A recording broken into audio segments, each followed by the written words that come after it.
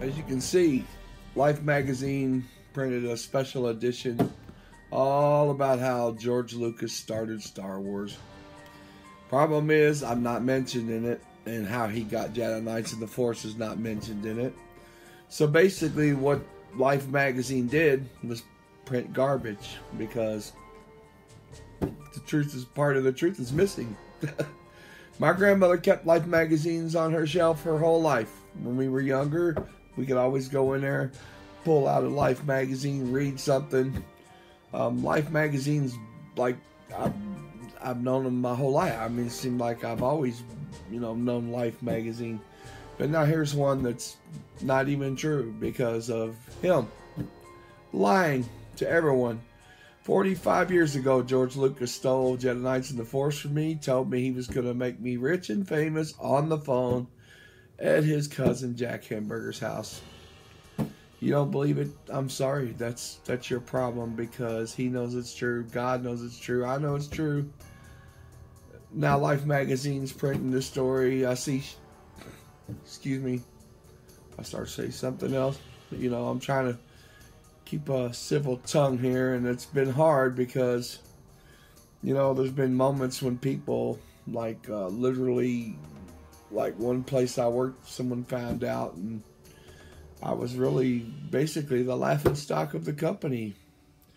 And I said, you know what, I'll never tell anyone at work again. So I left that place of employment went somewhere else, and sure enough, here's one of the guys who worked there also now working. So then people find out again, and it starts all over again. So there entailed about 14 years of my life of being ridiculed because of him lying and not ever telling the truth. I mean, I literally had guys go, "You didn't write Star Trek," and I go, "Oh my god." You know, I never said I wrote wrote Star Trek. Never even said I wrote Star Wars, which is actually what this is about. George Lucas wrote Star Wars or whoever he had write it for him. I don't I don't that's not my business. What is my business is he took Jedi Knights and the Force from me and promised me to make me rich and famous. So that is my business.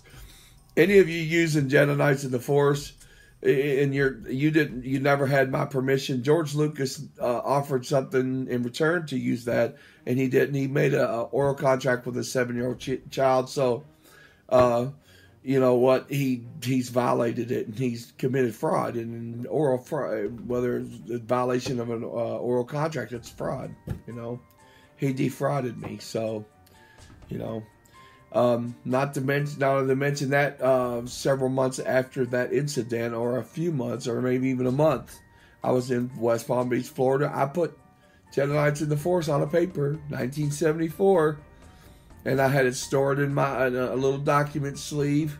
I've showed it uh, um, many times in my other videos. Um, I had uh, medical records and an immunization book, my birth certificate, my GED, all kinds of stuff of mine from from the time I was a child till I was my, a young adult uh, was stored in that plastic sleeve.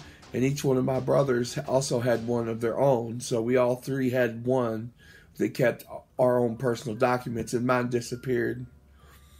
And I had asked my brothers on the phone to go get it, take it out of storage, send it to me. They're the only ones who knew where it was, other than my mother. So between my two brothers and my mother, if one of them didn't sell me out and, and to get something, because none of them are rich. So obviously, if they did sell me out, they really took a shaft on that one because they didn't get get nothing they're none of them are comfortable, so they didn't. They obviously didn't get enough um, for it. If that's the case, um, if that's not the case, then the other case being that uh, he was spying on me. He had a guy come to visit me in Bedford, Ohio, named Bob Frederick. Uh, eventually, he told me he worked for the FBI or had worked for the FBI.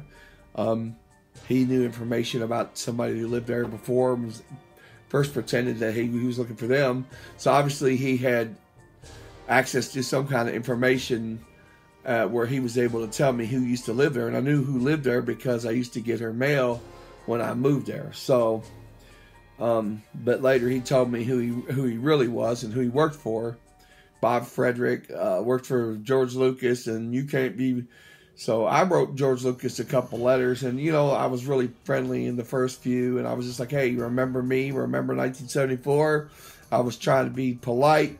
He kept ignoring me. I started getting mad. I kind of sort of I found out he was in a car wreck. I kind of said something wishful thing, you know, kind of mean, you know, about about that car wreck should have taught you a lesson or something. I don't even remember that. I said something else. I don't. I don't have. I don't recollect exactly what I said, but I didn't really threaten him. So if I had, I would have been in jail. You all know that, and uh, you can't threaten anybody like that, and you you would be in jail pretty quick. Um, so the police told me that I should uh, call a lawyer, and I I contacted so many lawyers. Uh, nobody wants to believe him and uh, that he that he stole from a seven year old kid and um, nonetheless, my all my document sleeve and all that stuff vanished. So somebody got into my stuff, whether it was through the phone call, whether they, which would only if they were, um, if they did get it and they were tapping my phone, that means I was I was a victim, also a victim of.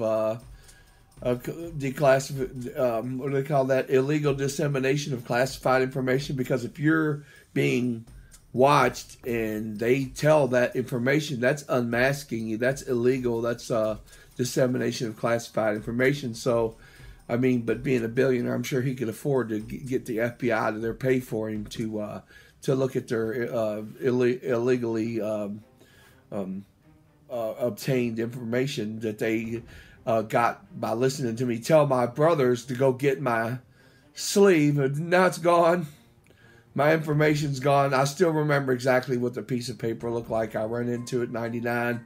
Me and my mother both held it in our hands. All my other stuff's gone. My childhood medical records, my document sleeve, my immunization book, all of it's gone. I want my stuff back. I really do. That's my stuff. It belongs to me. I don't know why why in the world you would have to go that far and not just take the piece of paper and leave the rest of my stuff alone. Um, I want I want my stuff back. I want my immunization book. I want my medical records. You know. Anyway, none of you can even understand, begin to fathom what I've what I've dealt with over this, and um, the fact that I know it's true. And I, every time I turn on the TV, I see him or something to do with him. It's not like it's something I can escape. You know, um, what am I supposed to do? I'm, you know, I'm not even rich enough to leave the country and not watch TV anymore. You know what I'm saying? So I can't get away from it. I go everywhere I turn, I hear it, hear people talking. I'm going to see it.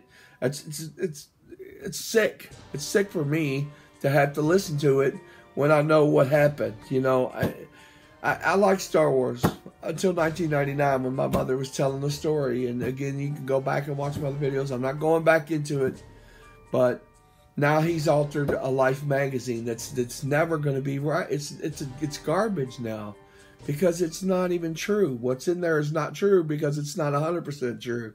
It's like how do you fix a whole magazine that you let get printed with a lie in it and left out half the truth?